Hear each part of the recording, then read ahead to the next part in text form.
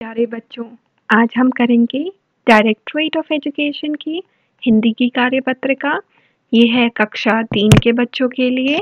21 तारीख की क्रम संख्या है 137 विद्यार्थी यहाँ अपना नाम और यहाँ अपने शिक्षक व शिक्षिका का नाम लिखेंगे। सार्थक व निरर्थक शब्द। बच्चों, आपने पाठ टिपटिपुआ पढ़ा, मज़ेदार लगाना अब आप जरा पाठ में दादी द्वारा कहे गए इस वाक्य पर ध्यान दीजिए।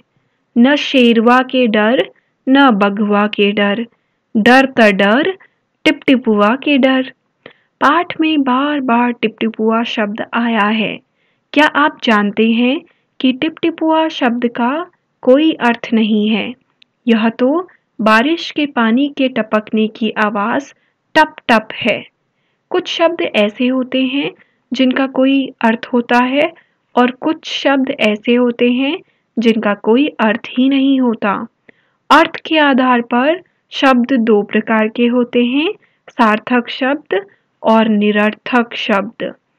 सार्थक शब्द, ऐसे शब्द जिनका अर्थ होता है, सार्थक शब्द कहलाते हैं, जैसे किताब, दीवार, बगीचा शेर आदि। निरर्थक शब्द वो शब्द हैं जिनका कोई अर्थ नहीं है। और ये अधिकतर सार्थक शब्दों के साथ प्रयोग होते हैं। निरर्थक शब्द कहलाते हैं, जैसे खटर पटर। इनका कोई अर्थ नहीं है। पानी वानी, रोटी शोटी, कपड़े वपड़े आदि। नीचे लिखे गए, अब देखो आपको बोला, ये देखो, ये सारे निरर्थक है क्योंकि इनका कोई अर्थ नहीं है। लेकिन ये किसके साथ इस्तेमाल हो रहे हैं? सार्थक शब्दों के साथ। जैसे देखो, पानी का अर्थ है, लेकिन वानी का नहीं है।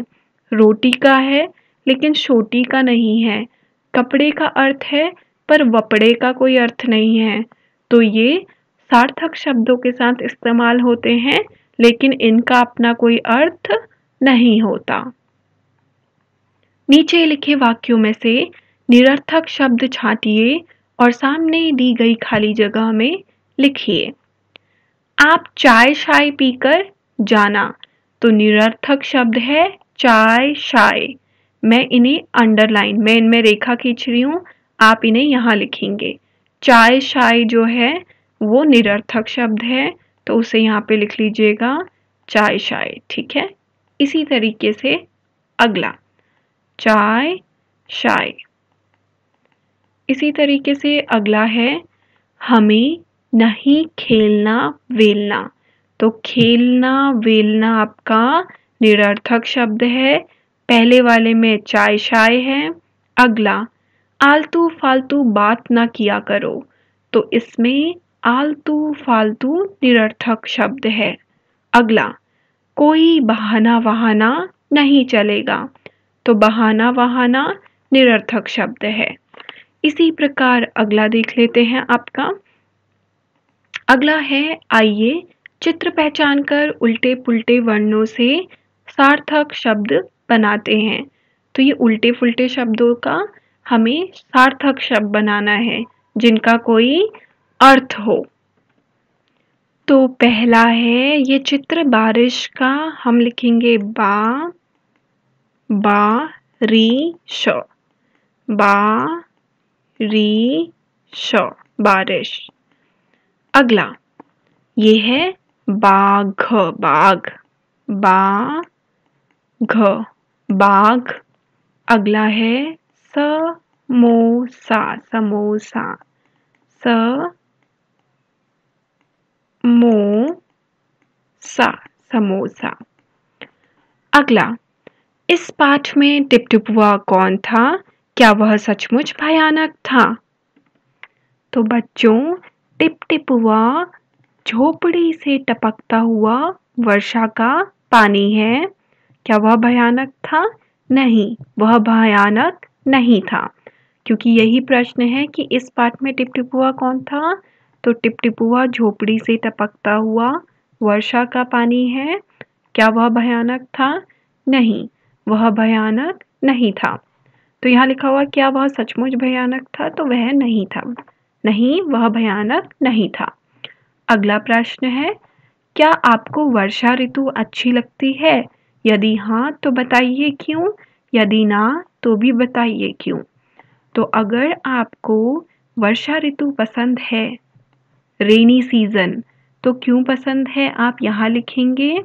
और अगर नहीं पसंद है तो वो हम यहाँ लिखेंगे। तो जिन्हें वर्षा ऋतु अच्छी लगती है, उनके लिए ये उत्तर है। देखिए, क्योंकि वर्षा ऋतु में मोर नाचते हैं, मोर नाचते हैं इसलिए अच्छा लगता है।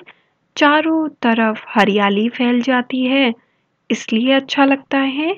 ठंडी हवा चलती है, इसलिए अच्छा लगता है। और कुछ लोगों को भीगना पसंद होता है, इसलिए अच्छा लगता है। और कागज़ की कश्ती बना सकते हैं। अब वर्षा ऋतु जिन्हें अच्छी नहीं लगती, क्यों? क्योंकि कीचड़ हो जाता है। कीचड़ हो जाता है और जो दूसरे आंसर हैं वो यहाँ लिखे हैं। क्या हो जाता है? पानी भर जाता है हर जगह, जिसकी वजह से बीमारियाँ अलग अलग रोग होने लगते हैं बारिश के कारण, टाइफॉइड, मलेरिया तो बीमारियाँ होती हैं। मच्छर उत्पन्न हो जाते हैं। इतना पानी भर जाता है कि मच्छर हो जाते हैं और आप कहीं घूमने नहीं जा सकते। तो ये चार उत्तर हैं। आप कोई भी तीन लिख लीजिए। अगला है, बच्चों, ज़रा सोचकर बताइए कि यदि आपके घर कुछ दिन पानी नहीं आए तो आपको और आपके परिवार को बाकी सदस्यों को कौन कौन से कार्य करने में परेशानी होगी। अगर हमारे घर कुछ दिन पानी नहीं आएगा तो हमें खाना बनाने, कपड़े धोने, नहाने साफ़ सफ़ाई आदि करने में परेशानी होगी। बच्चों, अगर आपने अभी भी चैनल को सब्सक्राइब नहीं किया है, कर लीजिए ताकि आने वाली वर्कशीट आपकी मिस ना हो। और इस उत्तर को ध्यान से देख लें। कि अगर हमारे घर कुछ दिन पानी नहीं आएगा तो हमें खाना बनाने, कपड़े धोने, नहाने साफ़ सफ़ाई आदि करने में परेशानी होगी। और मम्मी पापा के लिए सुझाव, बच्चों को बताएँ कि वर्षा का जल हमारे लिए कितना महत्वपूर्ण है और हमें इसका संचय कैसे करना चाहिए। और कोविड से बचने के लिए हाथों को नियमित रूप से धोते रहिए। चैनल को सब्सक्राइब करना ना भूलें। बाय बच्चों।